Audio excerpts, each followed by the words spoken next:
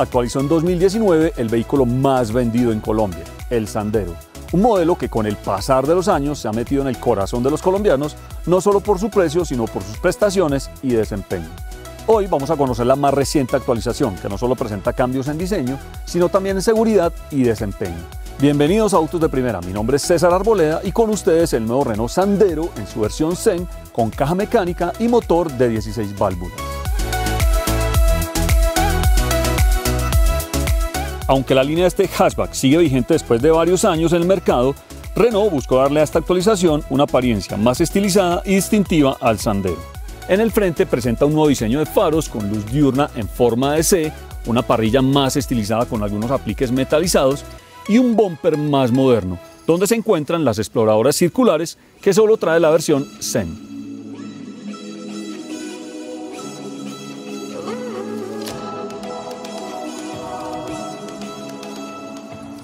Lateralmente, el nuevo Sandero realmente no presenta mayores cambios. El más destacado son los nuevos rines bitono de 15 pulgadas. Las direccionales están en los espejos. Y aquí lo más importante a resaltar es la buena altura al piso de 14 centímetros, que lo hace ideal para superar resaltos, incluso cuando va con cupo completo.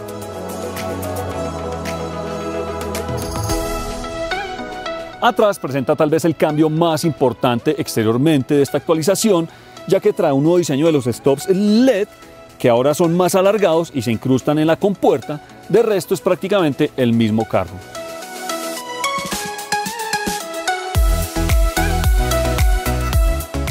A pesar de reafirmar un carácter más urbano y juvenil, el nuevo Renault Sandero mantiene unas dimensiones compactas, ideales para rodar en la ciudad, pues mide 4.07 metros de largo, 1.72 metros de ancho y 1.53 metros de alto mientras que su distancia entre ejes es de 2.59 metros.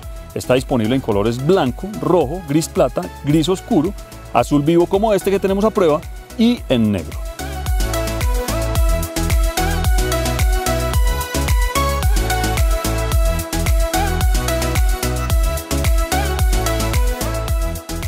Al interior, el nuevo Renault Sandero mantiene el estilo de la actual generación, Recuerden que esta es solo una actualización. Aquí lo más destacado es el nuevo volante de tres radios con algunos acabados metalizados.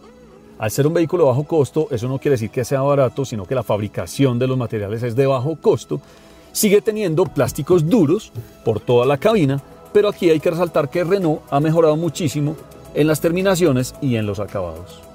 Volviendo al volante, este solo se puede regular en altura y en este lugar encontramos el típico comando satelital, que así lo llama la marca, donde podemos manipular el radio y hacer o contestar llamadas.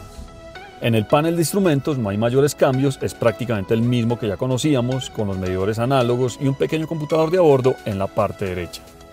Pasando a la consola central, esta versión incluye una pantalla táctil de 7 pulgadas con la nueva versión de la interfaz MediaNav, donde podemos replicar algunas funciones de los smartphones y que ofrece conectividad con Apple CarPlay y Android Auto.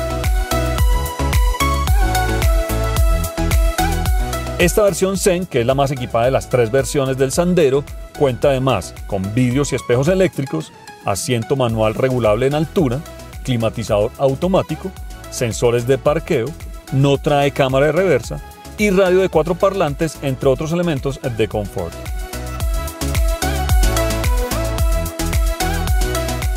Y en cuanto a seguridad, cuenta con cuatro airbags, frenos ABS con EBD, anclajes ISOFIX, cinco apoyacabezas y cinturones de seguridad en todas las plazas de serie, junto con el asistente de arranque en pendientes.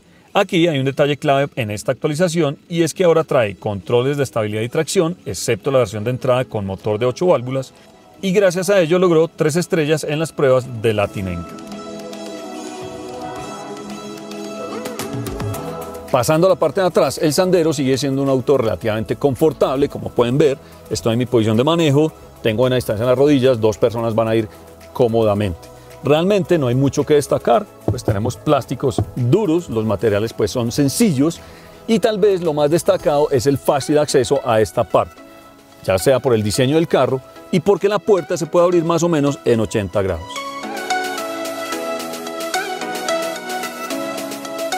Ya en la parte posterior, aquí encontramos otras de las grandes virtudes que ofrece el Renault Sandero y es su espacio en el baúl el cual se accede por medio de este botón en el emblema y al interior encontramos un muy buen espacio de 320 litros de capacidad, el cual se puede ampliar hasta 1196 si desplegamos las sillas traseras en proporción 60-40. Debajo encontramos la llanta de repuesto.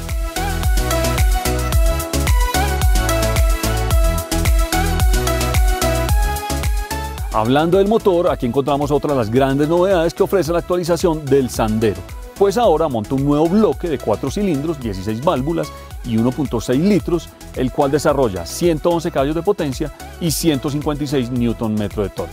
Este nuevo motor presenta una ligera mejora en el rendimiento frente a los modelos anteriores va acoplado a una caja mecánica. El Sandero solo se vende con caja mecánica de 5 velocidades, diferente al Stepway que sí se puede conseguir con una caja automática CDT. Los invito a ver el video en la parte superior.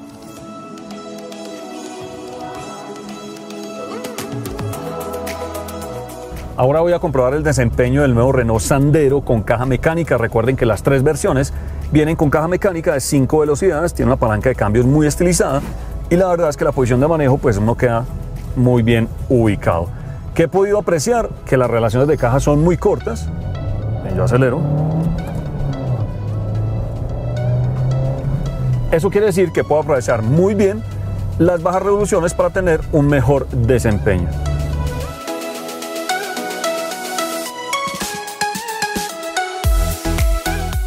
Ahora voy a comprobar la aceleración de 0 a 100 a ver cómo le va. Pica muy bien. Segunda 6000. Tercera 80 pide el cambio. La marca asegura que lo hace en 10.8 segundos. Cuarta 120. Y así hasta llegar a 180 km por hora, que es la velocidad máxima que dice la ficha técnica.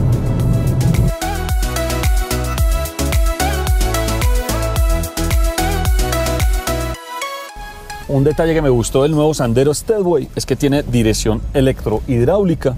Eso lo hace mucho más fácil de maniobrar sobre todo en espacios más angostos.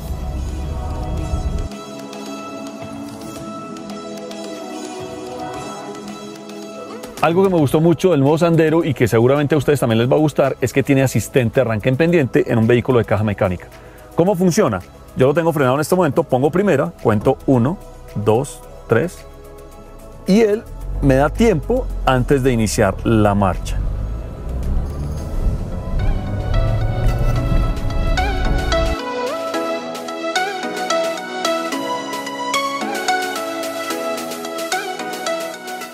En resumen, tiene un andar muy cómodo gracias a la blanda suspensión, el control de estabilidad trabaja muy bien en las curvas exigentes, que le aporta una dosis extra de seguridad. Aunque no podemos pasar por alto los acabados que denotan su origen de bajo costo y la falta de algunos elementos de confort, el Sandero sigue siendo un práctico hatchback con un buen espacio interior, pero ahora con el plus de incorporar un mejor equipamiento en seguridad y una apariencia más fresca.